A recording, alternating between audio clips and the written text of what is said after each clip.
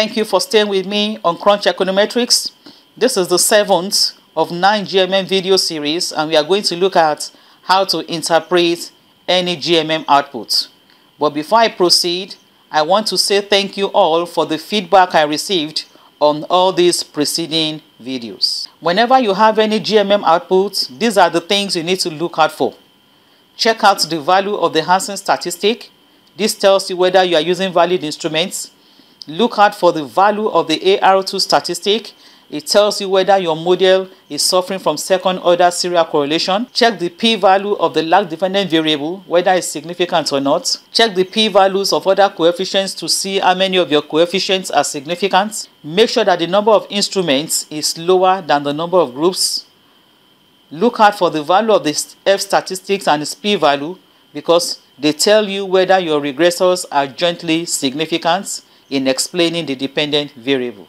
Other information you need to consider always know that GMM estimates are short-run estimates. Always remember to give a ceteris paribus interpretation and limit interpretations to only significant coefficients. As a matter of emphasis, watch out for the number of instruments, the Hansen and AR2 statistics. Then generate long-run estimates for only the significant coefficients. So I will cover this point number 5 in the next video. So here is the Stata output from a two-step system GMM estimation. At the top of the table, you will always see the type of estimation that you have just performed. In this case, we have a two-step system GMM. So this is a typical GMM output. So whether it's a difference GMM or system GMM, the outputs look exactly the same only the contents are different. At the upper part of the table, you have some information that is specific to your data and which also tells you whether your model is correctly specified. You have the IDs for the groups and the IDs for the year. You have information on the number of your instruments and you have information on the value of the F statistics and the probability value. You also have information on the number of observations, the number of groups in your data, and you have statistics relating to observations. If you notice that I have 48 groups here, but in my panel I have 54. So maybe six of them do not have sufficient observations. That is why Stata dropped them. So at the end of the day, I'm having 48 groups being reported for these particular outputs. In the body of the output here, you have information relating to the variables that you have used to run that model. At the corner here, this is the dependent variable. This is the outcome variable that we are explaining. And below, you have information on the regressors or the explanatory variables.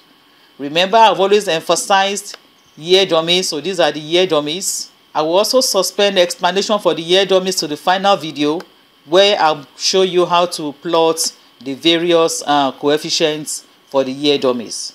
But let me just say here that when you are interpreting your year dummies, you are going to interpret each year in relation to the base year, which is 2005. Like I said before, whenever you generate the output, look out for only the significant coefficients. Once a coefficient is not significant, please do not bother to explain. Only limit explanation to significant coefficients. Immediately after the results, we have this portion which shows the way your instruments are computed in this particular output. We have two classes of instruments. We have the first one, which is for orthogonal deviations equation. That is for the first difference equation. And we have instruments for the level equation. Immediately after that, we now have the statistics for the AR1, AR2, Sagan, and Hansen. By now, I'm very sure that most of you can easily interpret your AR1, AR2, Sargan, and Hansen because I've been talking about this right from the onset of this GMM series. So like I said, this is how a typical GMM result looks like and it is not right for you to just paste it like this in your manuscript and send to that journal or put it in your thesis for your supervisor to read. This is not good at all. So you have to export it to MS Word or Excel and do some little um, fine tuning so that your table can actually look presentable. If you don't know how to export your Stata output, please watch my video on exporting Stata output. and you will know exactly what to do. So I have a table already cleaned out in PowerPoint. So let's go over there and we continue our explanation. On the screen is the table that I've already cleaned out. This table is not the table that I just showed you in Stata. I just prepared this table for the sake of this uh, tutorial. But it's cleaned out and you can see that it looks a lot more presentable than the initial Stata output. So like I said here, please spend some efforts on your tables. Don't just splash the Stata output to your manuscript and send to that journal or just put it like that in your thesis. Please do something that is presentable to the reader. Number two, present all results. Both significant and not significant coefficients must be shown in your table. And below that indicates the salient diagnostics. We are interested in knowing whether you use year dummies. We want to see the number of your observations, the value of the F statistics, the number of groups and instruments used, the values of AR2 and Hansen. So please indicate all these in your table. And when you want to interpret, like I said, interpret only significant coefficients. When you are interpreting, we want to know the magnitude, interpret it in the short run, mention the significance level, and always give it a ceteris paribus interpretation. Taking a look at this table, you will observe that all my variables are in logs, both the dependent and the explanatory variables are in logs.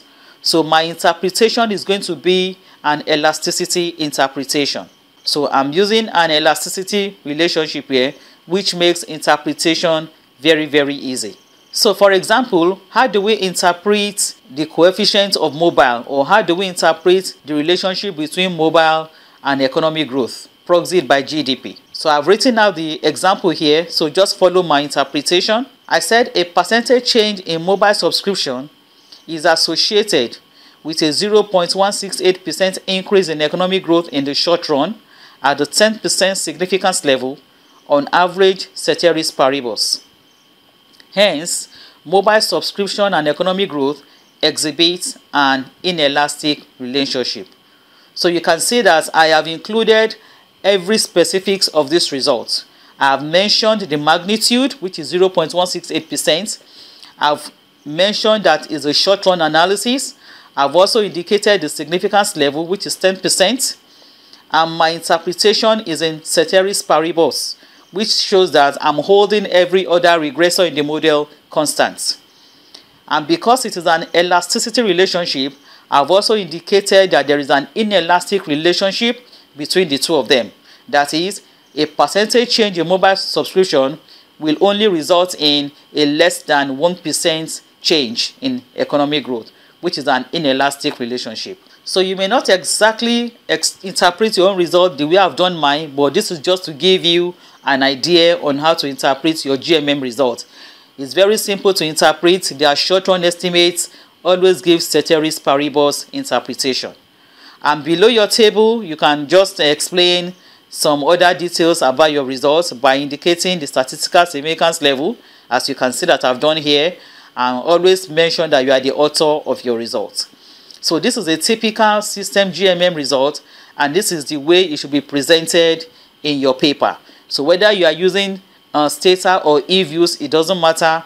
Please present your tables in a very good way. Stay with me. My next video, I will show you how to generate long-run GMM estimates only for the significant short-run coefficients. Thank you once again for staying with me. Thank you for sharing my videos. If you have not subscribed to my channel, please do so. Please tell others about Crunch Econometrics. Please follow my Facebook page, join me on Reddit, and uh, you can always tweet my uh, videos whenever you see them on Twitter. Please don't go away. I'll be right back.